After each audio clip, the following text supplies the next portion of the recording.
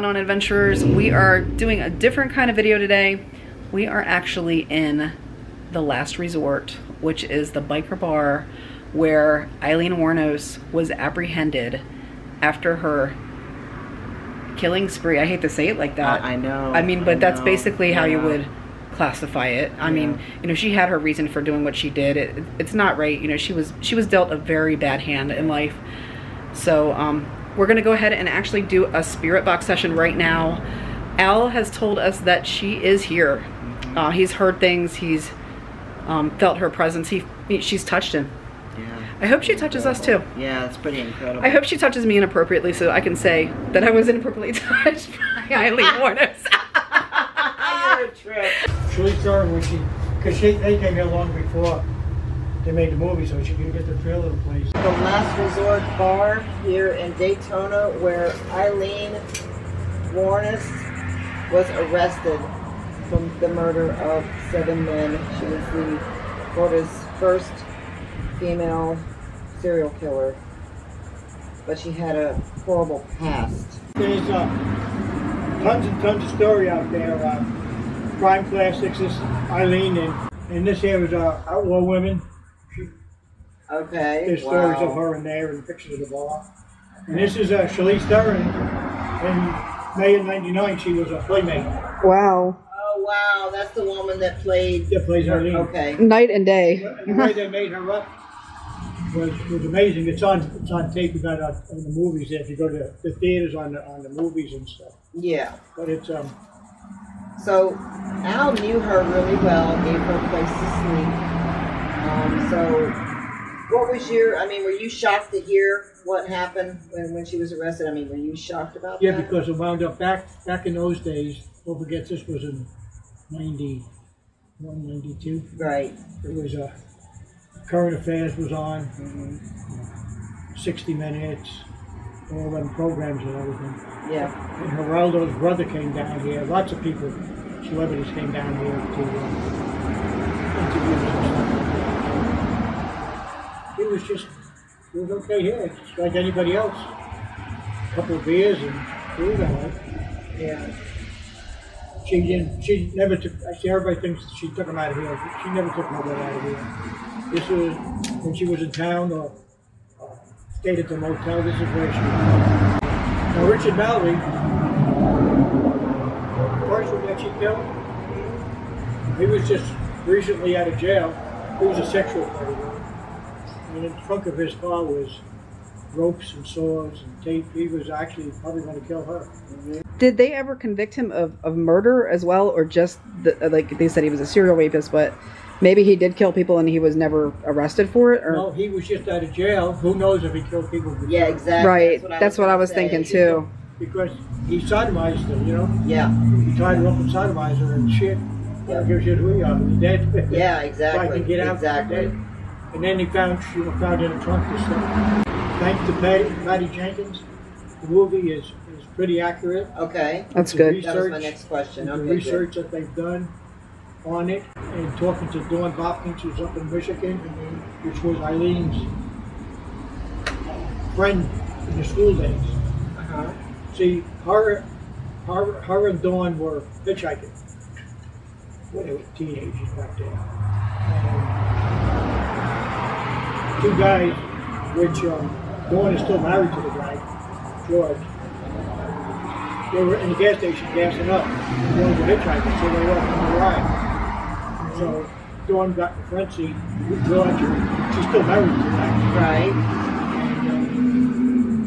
And uh, Aileen got in the back with his with his cousin or whatever, and just they just took and went out. I mean, she didn't start her killings until Richard Mallory when she was I don't know. Right. Yeah. I think it. it something snapped inside of her. Yeah, you know, I Think it- a little bit of PTSD. I was gonna say I got, I got you know, PTSD. Like, Well, she had a life because she was sexually abused as a As a child, yes. by, by the grandparents, and Yep. grandparents' friends, and grandmother died. She had a rough from the very beginning of her life. Because the father committed suicide living in prison. He Oh, was a really? child, he was a child molester. Oh God. wow, what a rough life. That's just Poor woman. But uh, see, see she what people don't it rough. understand, as we could look at it now, she had a tough life. if you look back at our life, it was no piece of cake neither. But this is why they, I say this, no such thing as bad kids or bad parents. Yes. They can only learn from what they see and hear. It's. If they see the mother getting hit by the father, they grow up, they think that's the way right there. Yeah. Exactly. They Yep. don't, they don't know. Got that right. So, so that's what it is. It's the, uh, the parents, and then the kids just go out and actually try and survive. And they try to survive the way they know how to survive. Yes. Yeah. You know? She was handed a raw deal from the very beginning. Yep. Early, early. But nobody knows that. I know. I can see that just from watching the movie.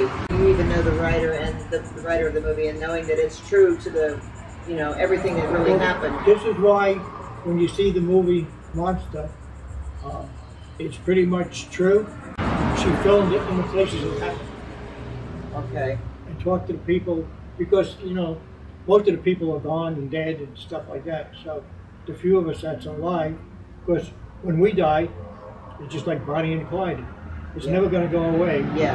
But what they take and do is just keep right on going with their stories, and it's stories get made up as they go along. Yes. That's why the movie Monster is pretty damn accurate. Pretty damn accurate. The reason it's called Monster is not that she's she was a monster. The only thing she feared in life was a Ferris wheel. We'll see it in the movie. Yes. And she called it a monster. Yes.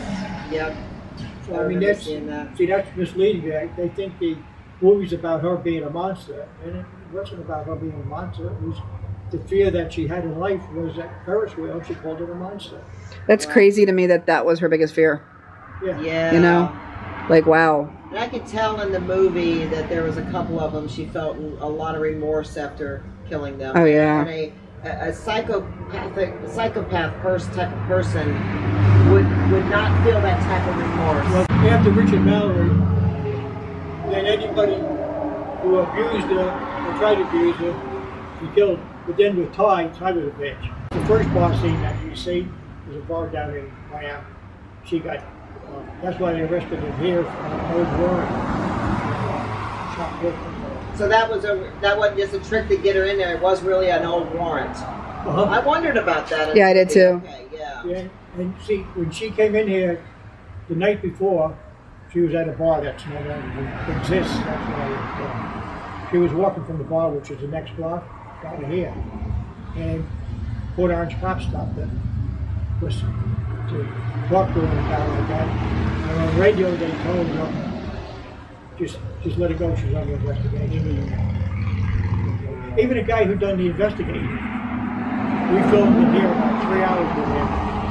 And I kept on telling him, I said, you know, you're the guy that done the investigating.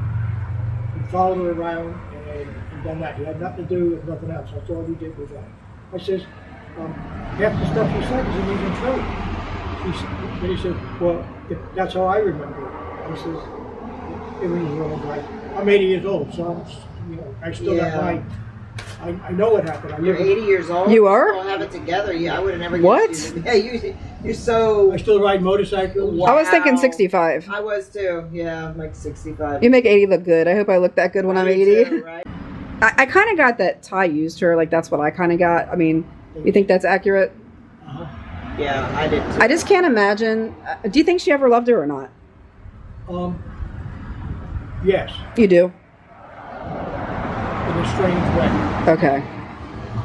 I mean, it, like to me, it just seemed like she wanted to be taken care of, and she just latched They on. they were both looking to be loved. That's because with Aileen, that was her only lesbian experience was with Ty. In movies, they have to make things happen in two hours. So, how long do you think they were actually friends until they became, you know, together? Do you think they had been friends for a little while, or do you think A it couple hap- years. They were friends before they were ever together? Oh. See, that's what I was saying. I was like, that that happened awful quick. Well, in the movie, they. Yeah, I mean, they have two hours, everything. yeah, so, it. You know, they have to excel Well, everything. She down in a gay bar in Miami. Oh, was in Miami, is where she. Yeah, Oh, I see. I didn't know that either. I didn't either. I guess she hitchhiked up here. Yeah, she hitchhiked everywhere. Wow. Wow. Yeah, back then hitchhiking was the big thing. Yeah, different world. was 89, 90. She was, on, she was only doing this for just a little over a year. Oh, they didn't find the body on one of them. Yeah, the preacher, the one from Palm Beach. Oh no. Oh, Really? It says somebody was from uh, Pasco County, Patty. What? That's right by us. It is. I didn't know that. I thought Charles- she killed them all from this area.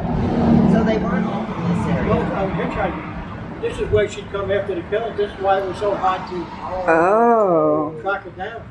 Oh, Wow. And then when Ty had the accident with the car, they weren't recognized him, and then there was drawings, uh, Yeah, Yes. drawings out of it and stuff like that. yeah. And then they started trying to find out where she was and, and stuff like that, investigate. Because they sat across the street, in the parking lot over there, years ago, and they had a listening device. So they knew everything that was being said inside the bar. Oh, wow. And when they arrested him, they took the suitcase at the door, they bring it, brought it inside, set it on a pool table. And he opened up, reason they wanted to arrest her outside was, they didn't know if she had the gun on her or. Oh. Now that first bridge right there is where she put her gun in. Oh, is it Which really? one? The first bridge right by the motel, oh, oh, okay. really? they screwed in right there. Did they find it? Yeah. Oh, they did find the I gun? got a picture of Yeah. Wow. She That was a- some gun. She was a prostitute Yeah, it that was. turned murder, and they brought and they uh, prosecuted her as a uh, murderer that was a prostitute. And she, re- and she requested to be executed Oh, she wanted to be executed? after 12 years. Yeah, she was Oh, I didn't know that. very, very intelligent woman. I think she had an IQ like 147. Wow. Now, I did read that her father was schizophrenic. I think that's correct. Do you know if she was schizophrenic at all? Um, I don't know. I only see him in here. Yeah. Yeah. not like we went out anywhere or did anything. Or, Right. It just, I don't know. I, I mean, did they even do psych evaluations back then? When people went to prison? I don't even know if they used to do that. Yeah. I don't know. I don't think so. I don't know if they did or not. I don't think that's so. the thing, you know. And she had access to some help. I mean, it was hard to find it back then. It's kind of hard to find it nowadays. Yeah. But it was really hard to find, so- you Well, she didn't know she needed help. She was just Exactly. And a lot of people don't. And still today, there's a lot of people walking around that don't realize they need help, and they really do. That's like what's going on with all this stuff now. It's only- Exactly. It's only what you what you told them to Yep. see, and Yep. you can't even believe it anymore. Yep. That internet is totally destroyed. You know, because like I said, she was dealt a, a shitty hand from day one, you know, when she was a child, and, and that made her who she was. 13 and 14 years old, she was a prostitute. She had to show a tip and everything for a damn cigarette. I can't imagine. I can't imagine that. But they don't know anybody. That's where, Ex- Yeah, I know. where life was. Or, or If you don't know any To- better, that, to that's exist. all you oh, you know. want a cigarette? Okay, here, give me a cigarette. You know, In the beginning of the movie, I don't know if you saw the very beginning. Did you see the very beginning when it showed her as a kid? No, I did not. I Okay. missed that part of the movie. Well, it was interesting because of what she said. She's like, I'm going to be famous and all this stuff. I mean, Yeah, that she kind of came true. I mean, it did, but it wasn't what she intended, I'm sure. yeah, I'm sure it's not. But it's wanted just, to be a movie star. Yeah. She wanted to do this and she wanted that. It's just sad, you know, that it She had to happen that way. Like everybody else. Right. And Ty got in the way. Was she really trying to get a legit job and everything? I don't know if she did, yeah. It's so sad. That like that broke my heart. I understand how she became who she was and, and what, what she did. I, I, I get it, I yeah. I get it. She wound up in that bar, that gay bar down in Miami, because it was raining out. She had a few bucks, and then the, the Ty was hanging out, and she was feeling sorry for herself because they sent her down because of a lesbian, Mm. and then they just hit it off and just were seeing each other. And Just one thing can completely change the course of your life. Just one second, just one.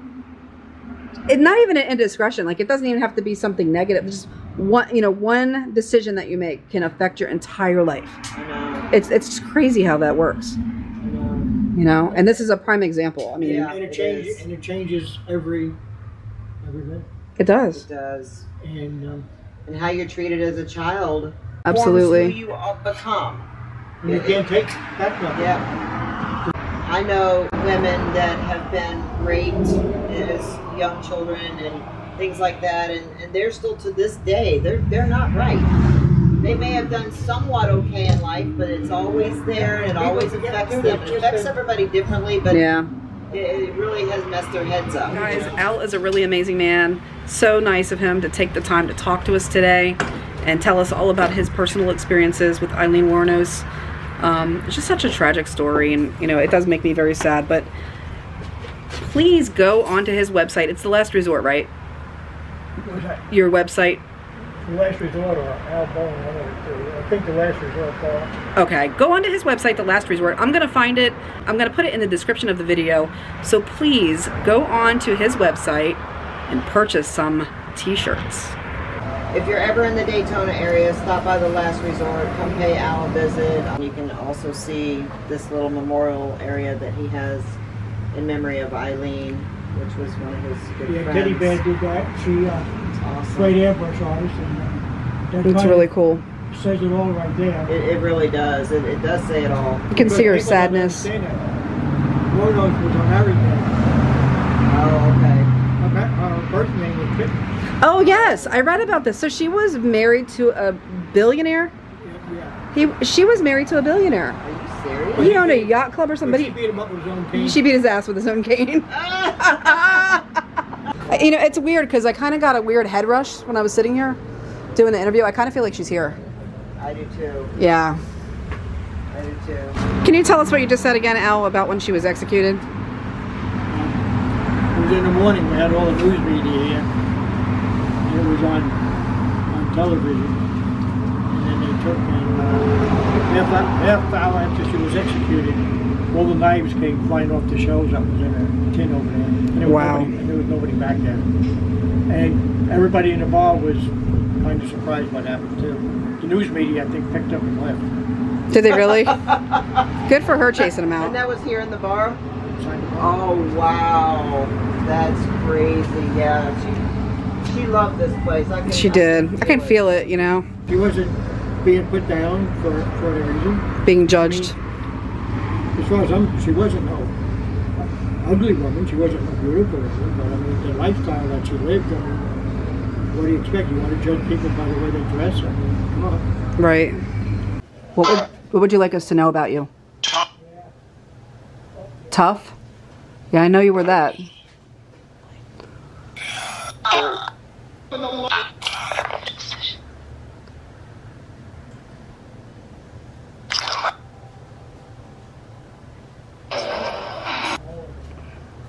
I'm really sorry about what happened to you.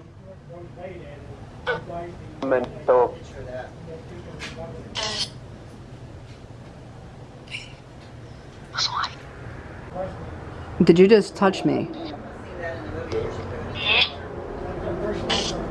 Yes. I'm giving you permission. You can touch me.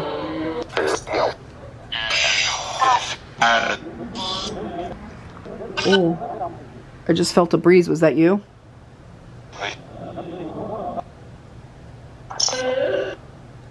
Yes. Can you show yourself to me?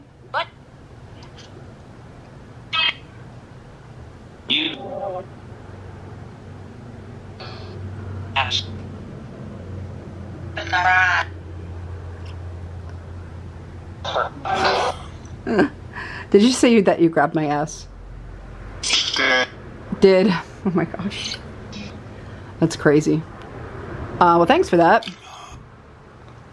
We are actually getting ready to head over to the hotel where you stayed for a short time down the road. So we would love it if you would follow us there uh, just to talk to us a little bit more. Thank you so much for talking to us today.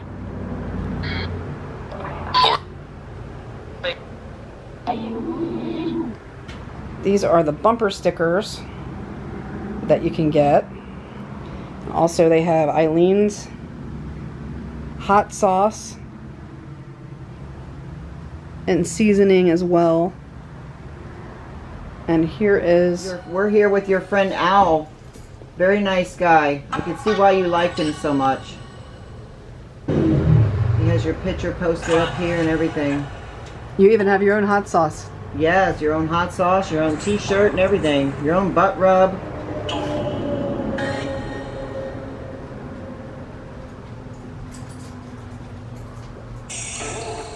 Show them what you can do. can do.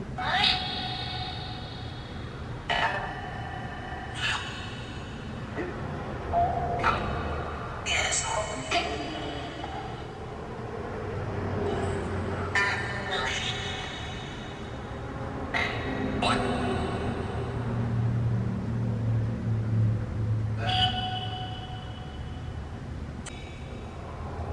right. Well, thank you so much, Aileen.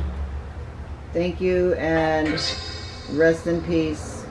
So, guys, Al was just telling us that Aileen played a lot of pool, And this is the pool table. and this is the actual pool table. So, Yep. we're gonna see if maybe she wants to uh, rack them up.